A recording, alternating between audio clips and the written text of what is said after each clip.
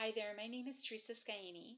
I lead women to have a voice not only on behalf of themselves, also their children.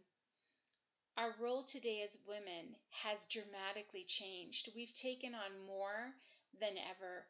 We're not only wives, mothers, daughters and sisters.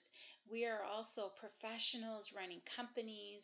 Many of us are licensed in our role with whatever we're doing, or we're entrepreneurs.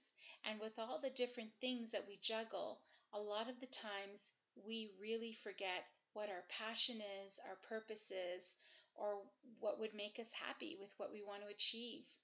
The question is, are you really being, doing, and having what you truly want?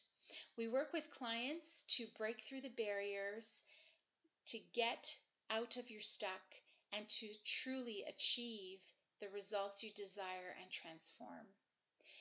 I am looking forward to seeing you all on the 22nd.